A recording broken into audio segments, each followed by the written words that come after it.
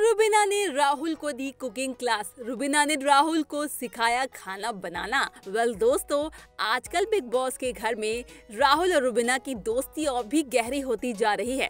और ऐसा मैं इसलिए कह रही हूँ क्योंकि लाइव वीडियो में ये नज़ारा देखने को मिला है कि रुबीना जो है, वो राहुल को कुकिंग क्लास देती हुई नज़र आ रही है। जी हाँ बिल्कुल सही सुना आपने। रुबीना राहुल वैद्य को खाना बनाना सिखा रही है, वो भी बड़े ही प्यार से।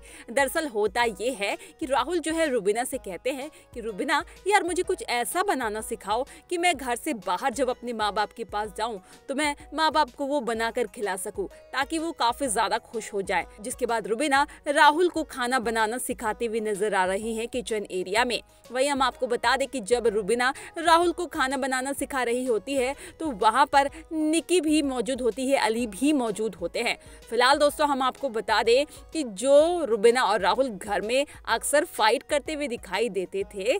वही रुबीना और राहुल जो है, आजकल एक दूसरे की काफ़ी ज़्यादा अच्छे दोस्त बन गए हैं। फ़िलहाल इस खबर को लेकर आप क्या कहना चाहते हैं? राहुल, रुबीना की दोस्ती आपको कैसी लग रही है? इस शो में कमेंट्स करके ज़रूर बताइएगा। और ऐसे ही तमाम लेटेस्ट अपडेट के लिए चैनल को सब्सक्राइब करना ना भूलिएगा।